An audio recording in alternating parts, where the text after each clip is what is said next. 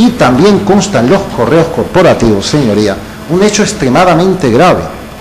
Cómo sistemáticamente el presidente de la entidad, Miguel Leza, intoxicaba a los medios de comunicación con la alerta de Moody's, publicando en un diario que se llamaba Libertad Digital artículos falsos, manipulados, y constan los correos como Recaro, uno de los miembros de la comisión, le daba cuenta y le decía, Miguel, mira lo que estoy publicando, ¿te parece bien? Eran manipulaciones abiertas aludiendo a que Caja Madrid iba bien, y esto destaca la alerta, porque cuando el operador internacional, el especulador, ve que aquí no nos queremos enterar de nada, sube la alerta y eh, vamos a la manipulación, que es por lo que nunca aparecieron aquellos 20.000 a 40.000 millones de euros que esperaba la ministra para que se reflotara con capital privado el, régimen de las cajas. No llegó el dinero a nivel privado porque se sabía que se estaba manipulando por la propia entidad, por el propio presidente, a través de un miembro del Consejo de Administración.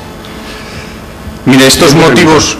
Y esto consta en los correos expresamente, en una carpeta que tuvo la oportunidad en parte de eh, verla la Secretaría Judicial, una, una carpeta que se llama Aguirre, y en esa carpeta constan estos correos que se derivaban a Libertad Digital. Libertad Digital, por cierto, es una entidad que está sujeta a créditos muy irregulares por parte de Caja Madrid. Yo no los investigué porque, bueno, aparecían en los correos, pero incidían en esa gestión criminalizada que venía siendo continuada. Así que tienes un crédito, pero vas viendo cómo la gestión va más allá de ese crédito, claro.